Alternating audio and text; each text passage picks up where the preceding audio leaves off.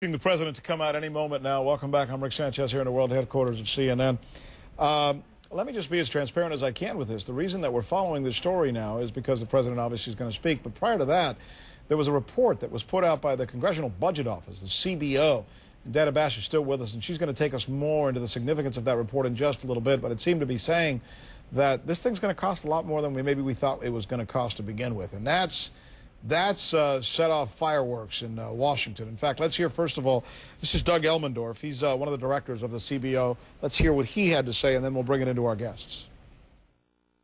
In the legislation that has been reported, we do not see the sort of fundamental changes that would be necessary to reduce the trajectory of federal health spending by a significant amount. Dana Bash, why has this set off such fireworks in Washington, this statement by uh, Doug uh, Elmendorf from the CBO? It's actually, believe it or not, through all of this complicated uh, talk about health care, it's actually quite simple. And it is because one of the president's top priorities in reforming health care, and Democrats here too, and frankly Republicans as well, is to control the cost, the skyrocketing costs of healthcare for, for Americans and for businesses. That is the that one of, one of the key key goals here. And what Doug Elmendorf testified is that the plans now going through Congress, the Democratic plans, they will not do that. In fact, they will have the opposite effect. And you've already had some conservative Democrats who serve in the House with Mr. Blunt. You've already had uh, some conservative senators ringing those alarm bells prior to that CBO testimony. So in the words of one conservative Democrat I talked to earlier today, what the CBO director did is give them validation to say, wait a mm. minute, Mr. President, wait a minute, leadership. Let's just, what's the rush? Let's just slow this down. And in fact, that is exactly what this letter that we got earlier today from six senators, bipartisan group of senators, said. We, listen, we listened to Doug Elmendorf, the director of CBO, who we have to say, is somebody who has enormous, enormous authority and power here. Any director of the CBO does, so, and said, no, let's let's delay it. So, Dr. Sanjay Gupta, let us assume that you were, in fact, the Surgeon General of the United States, which we know you are not. You have. Uh, decided to stay with us and be become an analyst for us as you as you are one of the best in the business and the president came to you and he said man this report from the CBO is rough I don't know quite what to do but it's uh, fourth down and we either go for it or we punt what do you tell him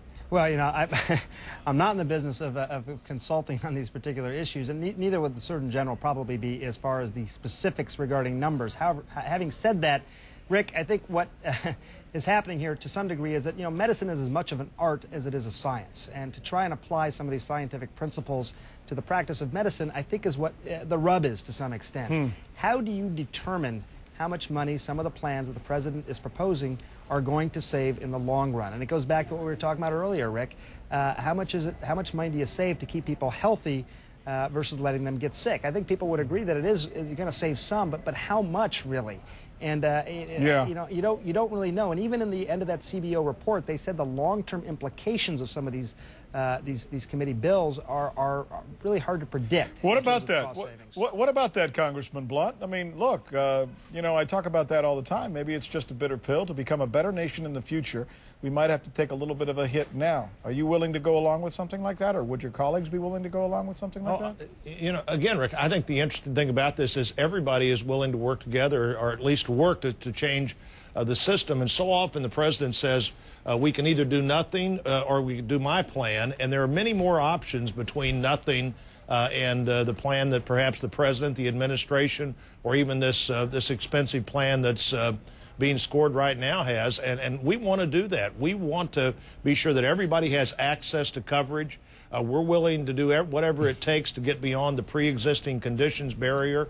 We want people to have more choices. CBO can be wrong, and they may be wrong on this, but uh, even if they're wrong, two trillion dollars. Let's say let's say that they're wrong by half. One trillion dollars uh, means that you have to cut Medicare spending and Medicaid spending, according to the, the advocates, by $500 billion over 10 years. You have to raise taxes by $600 billion over 10 years. Even if they're 50%, even if they're 100% above what it's really going to cost, uh, hmm. they would still be a big problem here. So we ought to work together to figure out how we get access to er for everybody into the system. And obviously, government's going to help with that. But risk pools and other things can be put together. Uh, and there is a great desire to make this system work better for people. Nobody wants to deny people health, nor does anybody want people to have to seek their medical care in the most expensive place possible, like the emergency room. It's interesting. We're getting a lot of tweets on uh, the waiting for the president. Uh, Mike Bates, uh, one of our regular viewers, says, uh, "Rick, it's right there at the bottom, Robert. We all know the one reason that could keep Obama off the air. His teleprompter broke." That's a bit of a cheap shot, but somewhat funny as well. And here we got another one saying, "Obama being late caused Rick to devote 30 minutes and counting to talking about him to fill time. Coincidence? I think not." You know, you tweet, you do tweets, you Twitterers are very Machiavellian on this day. Maybe it's because it's a Friday. Nonetheless, we're with our guest, Congressman Dr. Sanjay Gupta and Dana Bash, and we'll be back in just a little bit. And hopefully, so will the president.